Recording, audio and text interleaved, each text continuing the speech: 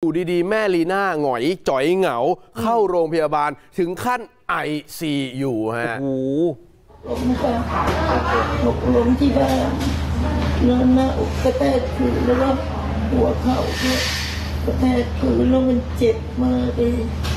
นั่งแท็กซี่มาโรงพยาบาลไม่อยู่บ้านคนเดียว ไม่มีคนพามา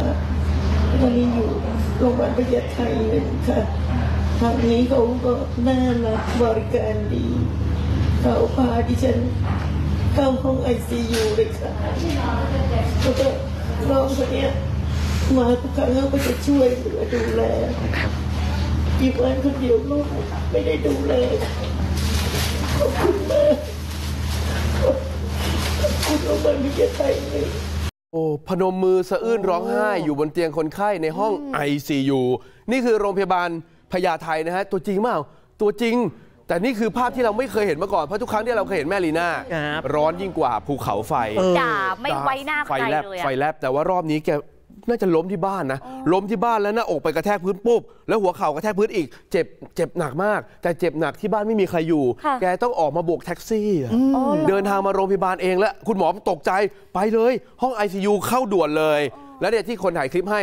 ไม่ไม่ไม่ใช่ญาติกับลูกน้องนะ ค่ะ นี่คุณพยาบาล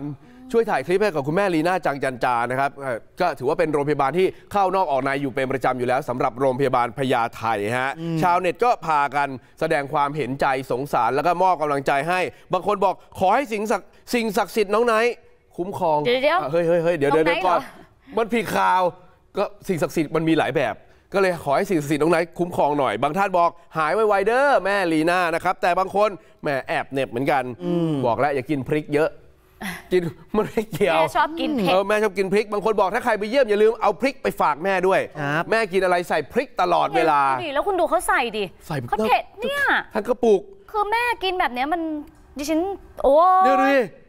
บางคนนึกว่าเข้าใจว่าชาวเน็ตคนนี้น่าจะเป็นร้านก๋วยเตี๋ยวค่ะถึงขั้นเฮเลย เพราะว่าเวลาแม่ซื้อก๋วยเตี๋ยวเนี่ยแม่ก๋วยเตี๋ยวโปรยหมดเลยอะก๋วยเตี๋ยว 60 เอาพริกไป 70เออกินพริกมากกว่าซื้อก๋วยเตี๋ยวอีกต่างหากเฮ้ยกินพริกดุจริงจริงนะฮะ เนี่ยแต่แล้วแล้วไม่ใช่แค่พริกคุณโอ้ดูการน้ำตาลด้วยเหรอน้ำตาลน้ำตาลด้วยเออ แม่ปรุงหนักมากอะครับโอ้โหลิ้นสุแบขบภาพนะแม่นะ เอออแต่อันเนี้ยไม่รู้ว่าอีท่าไหนเดินลื่นได้ยังไงไม่รู้กระแทกแรงนะครับ แต่แม่บอกบอกแบบเศร้าๆหน่อยอยู่บ้านคนเดียวลูกหลานไม่ดูแล ค่ะ น่าเห็นใจตรงนี้ฮะ ครับ จะกินอะไรต้องดูแลสุขภาพดีๆ ด้วยความเป็นห่วงจริง อ่าๆ เพราะว่าการลื่นล้มบางทีอาจจะมาจากข้างในมันวูบหรือเปล่าเป็นไปได้ไหมเป็นไปได้ไหม แม่กินเข้าไปขนาดนี้ก็ขอให้ครั้งนี้เข้าโรงพยาบาลเนี่ยตรวจเช็คชุดใหญ่ไปเลยนะคะแม่ฮะจะได้กลับออกมารักษาได้ถูกจุดแล้วก็สุขภาพแข็งแรงครับพวกเราเป็นห่วง หายเอาไวจริงๆไม่มีเสียงแม่เราก็เหงาหูเหมือนกันๆไม่นะได้นะเออเดี๋ยวกลับมาเหมือนเดิมนะอยากให้แม่มารู้ทุกเรื่องฟาดทุกข่าวไปพร้อม ๆ กับเราเหมือนเดิมนะคะ